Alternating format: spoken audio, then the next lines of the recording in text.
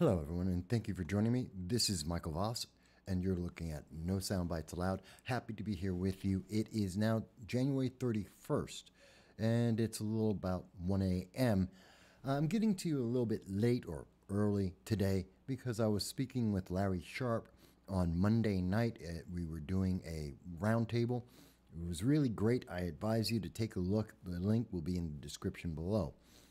We were talking about wokeism. What is enough woke in America. Do check that out. But the reason why I stayed up and why I'm talking to you now is because it was an interesting issue I wanted to cover with you. If you may recall, over the last couple of weeks, I've been talking about the ATF and some of the incredulous claims that they have been making. But there's something else that I noticed about that you may have not noticed, or maybe you did, and I want to share that with you.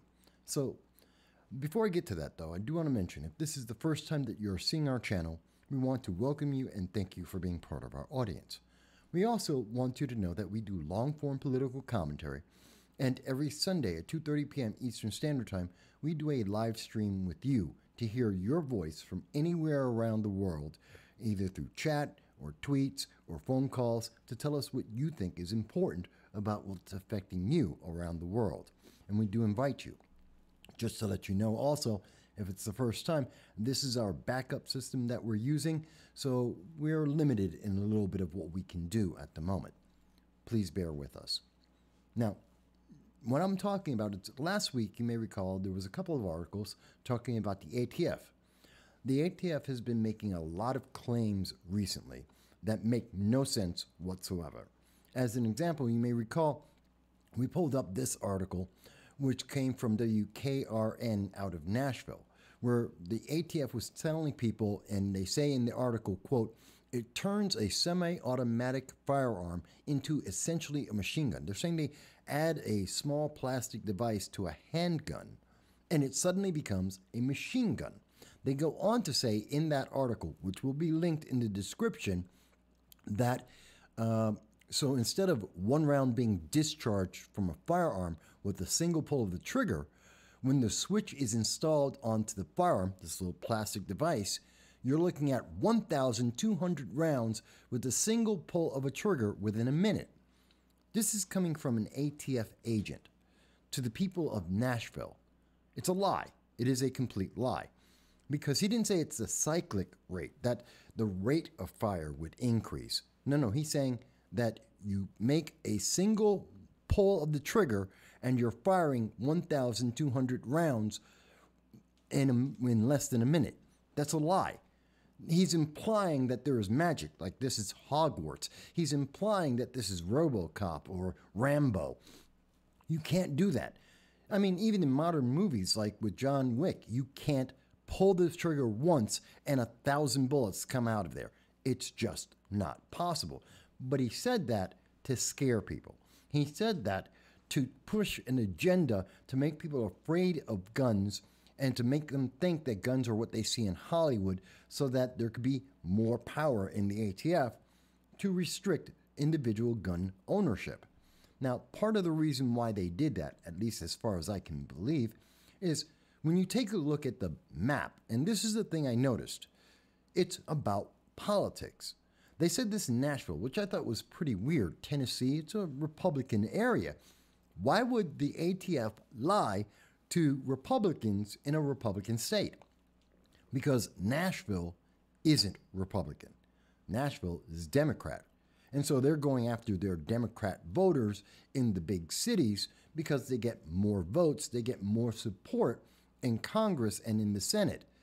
So they're targeting them there.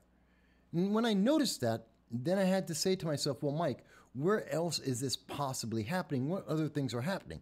Well, one of the things that kind of made me think of this is in Columbus. In Columbus, and this was on January 27th, the ATF director warns police in Columbus are finding a new dangerous device for guns. This time they're saying it's about 3D printers, but it's the same device. They're talking about the same thing. But they have a different approach this time because the ATF this time instead of talking about this as uh, having 1,200 rounds, Instead, what they're saying is that these devices, which are now uh, they going they will make, and I'm going to read this quote. It's a small piece of plastic. It can be made with a 3D printer. According to the Bureau of Alcohol, Tobacco, Firearms, and Explosives, it can give a handgun more power. Again, the link will be in the description so you can see it all for yourself.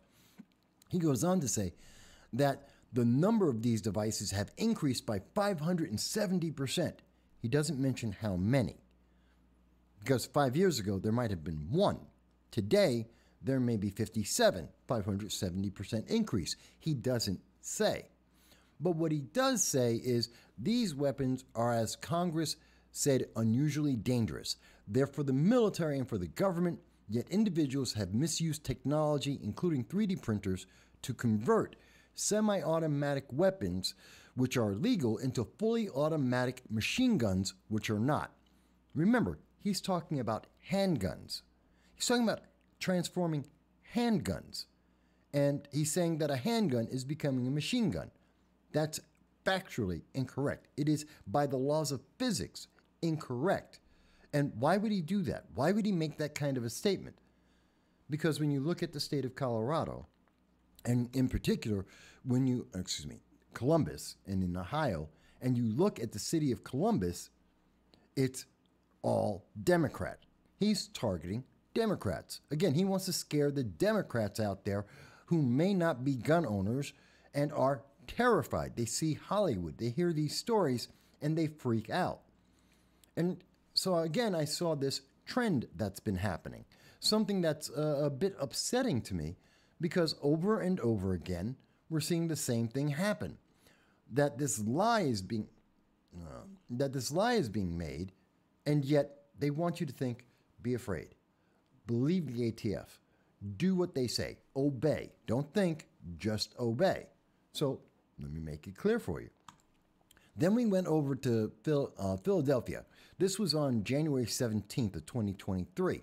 And in Philadelphia, they took a different tack. Now they're talking about ghost guns, which is the same thing we're talking about in when we were talking about Nashville and what we're talking about in Columbus. It's again an unregistered device, something made by a 3D printer. This is the new wave, the thing that you have to be terrified of. Now, Philadelphia is a city that has a lot of violence. We know this. It also has a massive amount of gun laws to try and protect the people. At least that's what that was. That was the promise. You just pass all these laws and you will be protected because criminals will stop being violent. They won't use guns anymore. Except that's not the case. It has never been the case. And in this case, from the Philadelphia Inquirer, they're talking about ghost guns that have been recovered and they're telling me that it's a 4,000% increase and that this is the problem. They don't even know how many of these things are out in the streets, except that's not the main cause of gun violence in Philadelphia. Not even close. It's not the main problem with violence in Philadelphia. But they again are trying to scare you. And the ATF knows that, well, more people know about guns in Philadelphia, in Pennsylvania, they're not going to get away with the same kind of extremism that they did in Nashville that they're doing in Columbus. But it is a Democratic stronghold, so they can get away with a lot of it. So then I said to myself, well, you know, let's take a look. What about the city of Boulder? What's going on? And I just went to Google and typed in ATF Boulder. You can do the same thing I can. And what are you going to see there? The ATF calls BSM gun braces. Remember? gun braces turn handguns into machine guns. That's another device they're saying you don't have a right to own, you have to obey, and if you do this, you will be safe. Because if you, a legal, law abiding citizen, don't own these guns, that's okay. All gun crime will go away. You will be safe and innocent. Criminals, of course, don't pay attention to the law. Another one of the articles says ATF, uh, federal ATF changes classification of pistol braces. They're trying to scare you. Again, they're going to another Democratic city, Boulder, and they're trying to convince people that it's just like the movies. That if you just add a device, this magical device, to a handgun, it suddenly makes it a machine gun, and therefore you're going to die. You're in danger. It's not true. It's never been true. You know, I went to another, I decided, let me look at another city. What about Portland? What are they saying in Portland? Well, in Portland, six days ago, the violent far right terrorists threatened threat to American law enforcement. Who wrote that? Antifa? The far right? In Portland? A city that is dominated by uh, Antifa, BLM, the far left. The ones who rioted for 120 days in a row in 2020, it wasn't the far right, it was the far left. The people who killed innocent individuals, that was the far left, not the far right. The people who are continuing to have autonomous zones and to persecute people for not believing what they are told to believe, that's the far left, not the far right.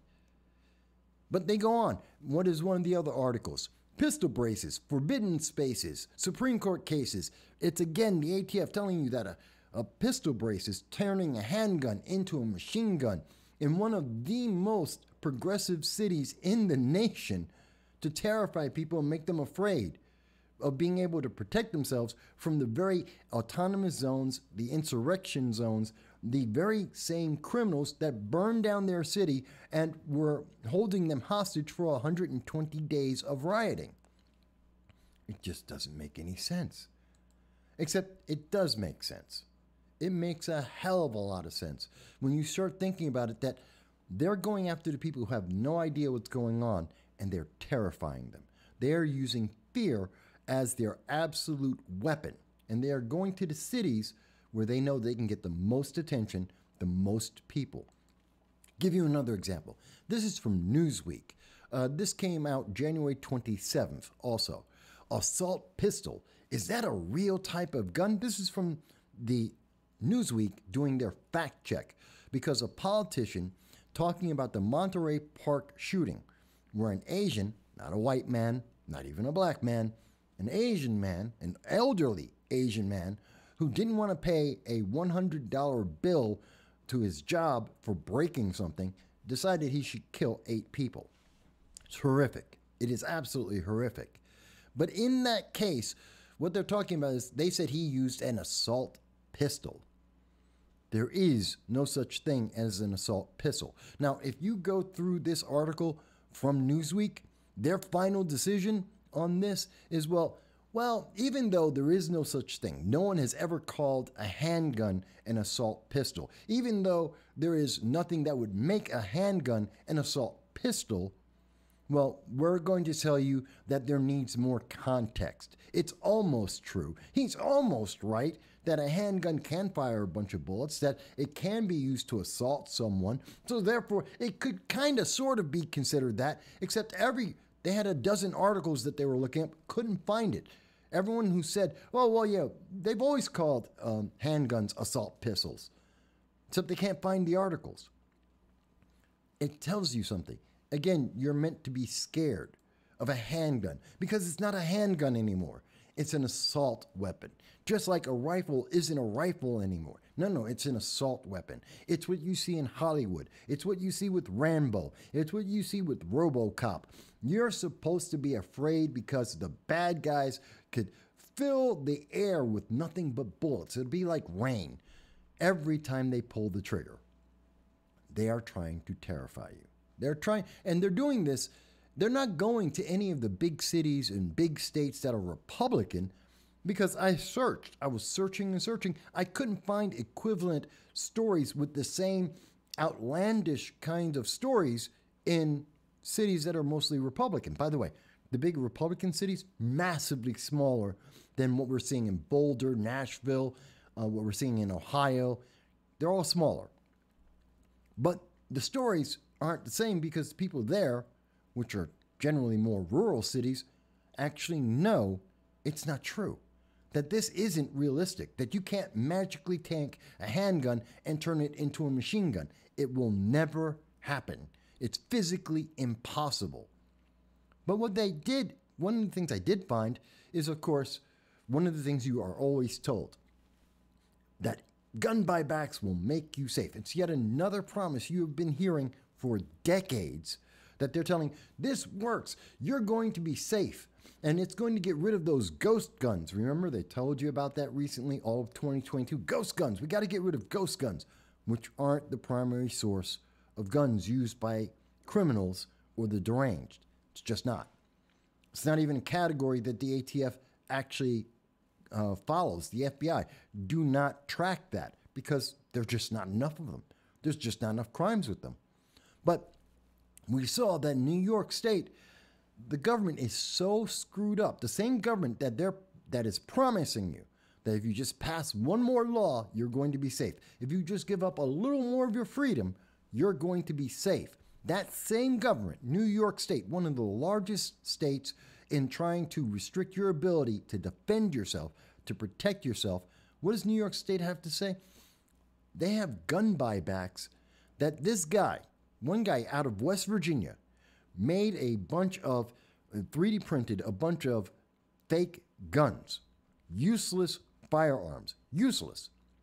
And he took them, over 60 of them, and he took them to New York State and made $21,000 because they didn't know the difference. They didn't know what they were looking at. They had no idea what they were doing.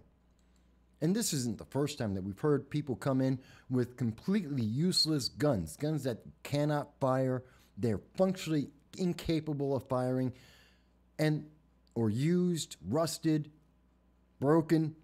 And these gun buybacks that's what they're buying. Useless items that do not work and do not endanger anyone. And the biggest example was, and of course, that was from October of 2022, to be fair. It wasn't recent, but it just goes to show you that they're making this promise oh, you're going to be safe. Don't worry, you're going to be safe. And then you find out they don't even know what they're talking about. They just know how to scare you and they know how to promise you that you're always going to be safe if you just do what they say. But it doesn't happen, it doesn't come true. In fact, there was uh, also, I want to take a look at this one in New Jersey, yet another state where you are looking at massive promises from elected Democrats. Promises that you're going to be safe if you just give up your rights. That if we get rid of those evil, nasty, horrible guns, you're going to be safe. Mind you, the criminals aren't. Criminals aren't following that at all. The deranged don't care. And what do we find out? Well, New Jersey does have less guns than almost any other state. They're number 49 out of 50 states. And they're also one of the highest gun crime states. Gee, does that make sense? Let's see. The law abiding citizens obeyed their elected officials. They have strict regulations on guns, lots of gun control. They have fewer people actually owning a gun to protect themselves and their family and their property. And they're not safer. They're not. It's a rising gun crime. And the problem is the promises don't come true. But that story, no, that's suppressed. That's not a big story nationally. They don't want to talk about that around the rest of the nation. And they don't even want to talk that on the major news stations in New Jersey. You have to search for this. You have to look through all the news to find, hey, what do you mean New Jersey has fewer guns but more gun crime? What's going on there? You have to search for that article because they don't want to tell you. The ATF isn't going to tell you. They want to take advantage of you. The federal government isn't going to tell you. They're trying to take advantage of you. The politicians, they're not telling you. They want your votes and your donations so that they can take advantage of you. And the and again, I'm coming back to the ATF in that they are actually lying about the physics. They are employing magic to try and terrify you and confuse you and make you obey. Look, you don't have to like guns. I'm not telling you you have to go out and buy a gun. That's not what the Second Amendment says. It doesn't say you must have a gun and you must be trained in it. I'm telling you that you have a right to do so. You have always had that right. Unlike Joe Biden, who likes to tell you a lie and say you can't own a cannon. Yes, you can. You can own a tank. You can own an M1 Abrams right now. You can go and there are 726, maybe 730 thousand Americans that own actual machine guns, actual assault weapons. You can own a F 16. You can own that. That, and you've always had the right to own that. But they want you scared. So I have to ask you what are we seeing here? Outrageous claims that involve magic, lies about the functionality and the physics of firearms, in particular handguns, meant to scare people who don't know any better, targeted to people in inner cities where there's fewer guns, and people who are less familiar with firearm and firearm ownership and the proper training of firearms. They're targeting these people. And you have to ask yourself, why are they doing that? Because if you go to Nashville, if you go to Columbus, if you go to New York City, if you go to Newark, if you're going to Philadelphia, you get more people and more Democrats than anywhere else because they just have more of them. And that means they get more power in Congress and they get to get away with more of the overreach and the abuse of power that they are doing right now. You should tell all your Democrat friends. Say, gee, just look at the articles that are being presented to you in your Democratic city, your Democratic stronghold, and compare that to the articles that they're putting out in Republican areas. Why don't they match up? Why is the news not the same? Why don't they make the same lies? Why don't they present the same information? Because Republicans who do tend to own more guns and are more of the gun owners of America know better. Why do they tell people in the cities the lies that they won't tell people in the rural parts of America? Because in rural America, they actually know what it is to fire a handgun, and they know you can't magically turn it into a machine gun. It will never fire 1,200 rounds. No matter how hard you pull that trigger, it's never going to happen outside of Hollywood at a movie. And considering people like Alec Baldwin, that's a good thing.